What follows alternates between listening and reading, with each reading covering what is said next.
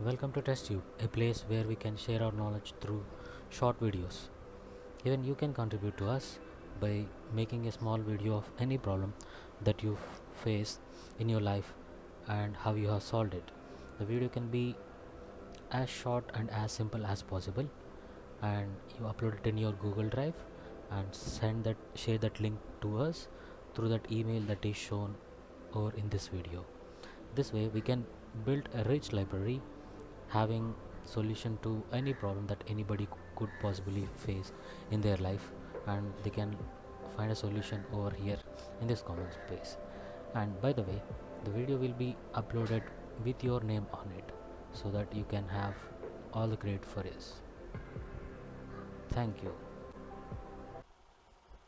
What is rest assured? So you would have heard this term and different people call it from different perspective some people um, call it as rest assured framework and some people call it as rest assured capability. So what is rest assured? So rest assured is nothing but mm, a java library which is created uh, so that you know you can test the restful apis so like many java libraries this is also one of the libraries for example you know uh, our famous testng framework. So test testng framework mm, is full of libraries uh, that are bringing up new capabilities and giving a style or life to uh, the work which you are doing. And that how it became a testng framework. Similarly uh, rest i mean the rest assured is a library which is rich of many methods and classes which can be used to maintain the test for restful apis so that's what rest assured is all, all about. And so you have to add those jar files so that you will get mm, access to the methods the methods which will run the apis which will uh, modify the content of the api which will uh, be used for asserting the api results and do many things with the restful apis so that's what rest assured is. And now let us see how to make a maven project and uh, how do we use this rest assured capabilities. This is eclipse ide now we are going to see how do we create a maven project to test the apis using rest assured capabilities. So you have to go to the file and select new. Under new select other and it will take you to place where you can select different kinds of projects. Groovy project or a java project or gradle related modules or JUnit project anything now we want to create a maven project. So click on next. It will ask you where to store the workspace. I choose default for now. And let me click on next. It is asking for the group id and artifact ids these are uh, maven terms you can get familiar with. So now i'm naming it as regression is my group id the artifact is rest api testing uh, so i try to give a space over here. It's not accepting. So you don't have, you don't shouldn't give any space. So now our package is going to be this way. Regression dot rest api testing. Similar to the package name package style in java. So create finish so rest api testing is going to be my project name. These are the modules which is main java and test java. Test java is the place where i write my test cases. Main java is a place where i can write utilities utilities utilities in the sense the reusables which i wanted to reuse at many parts of my test cases. And many other stuff which you wanted to maintain it over here. If it is related to um, any other thing that fits in your framework. Mm, we'll see that in later sessions. For now we'll see. How to install uh, the setup. So now I have created a Maven project. There is a default class which is available but I am going to create my own class so it is asking for class name. Let me give the class name as API testing.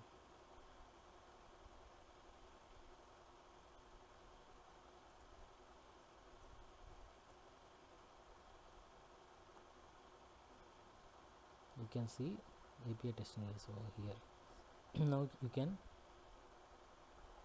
write the methods for your test cases get user in this context. And you can write your code inside it.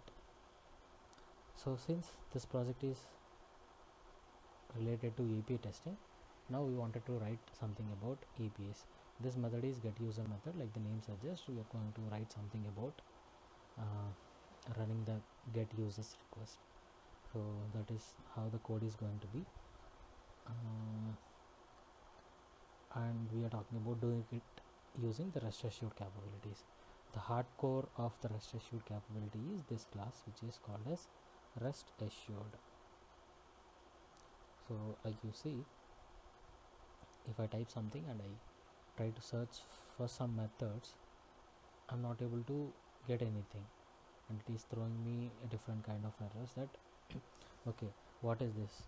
Is what Eclipse is asking me that is it a, it a constant or local variable or what it is? But it is none of them. But uh, I'm not getting any meaning to it. And that is all because we don't have rest assured capabilities now to use for this project. So how do we get assured, rest assured capability is by adding those jar files in this libraries. So there are two ways to do it. One is hard, hard way and the other one is easy way. The easy way is the maven way. Since we are in maven project let's use the maven uh, capabilities um, which are famous that are adding dependencies to pom xml file and get the libraries which you want to have access to. So we will do that. Before we do that um, you can define uh, the different methods which you wanted to test and you can write a java style code uh, which is a main method wherein you can call those methods to run those test cases which is very very traditional way. And also you can do this in the recent ways which is by using testng framework. So i can name it as test uh, using the test annotation so that it can be called as test. I can write another test uh, and I can call it as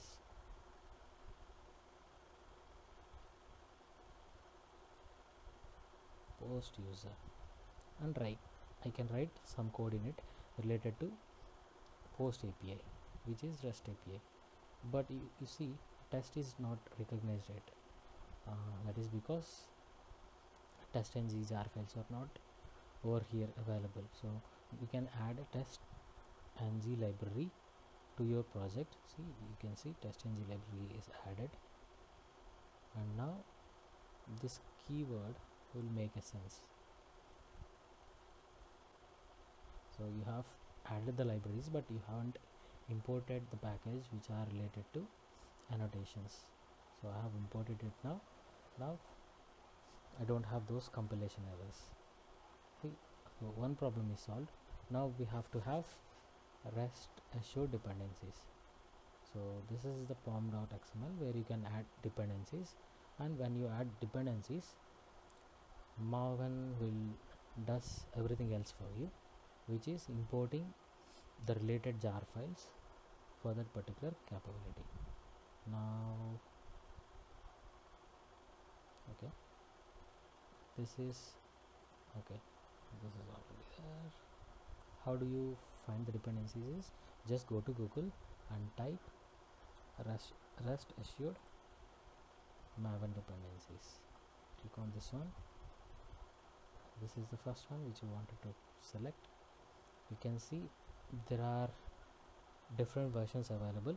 You can select the most recent and most viewed one which is having 183 usages 4.3.0 and this is the dependency. You copy the dependency and add it over here. Click on save. You can see it is building and it has built the dependencies. You can go to maven dependencies and check over here. You can see rest assured related jar files are added over here. And this is rest assured related. This is also rest assured related. So likewise you will see uh, many rest assured all rest assured related jar files are added. Over here if it is a normal java project you have to add all of them manually and you should be knowing them. Uh, you may miss one of the jar files at some times and you will face compilation error at that time when you wanted to run the rest assured code and again you have to import another jar file.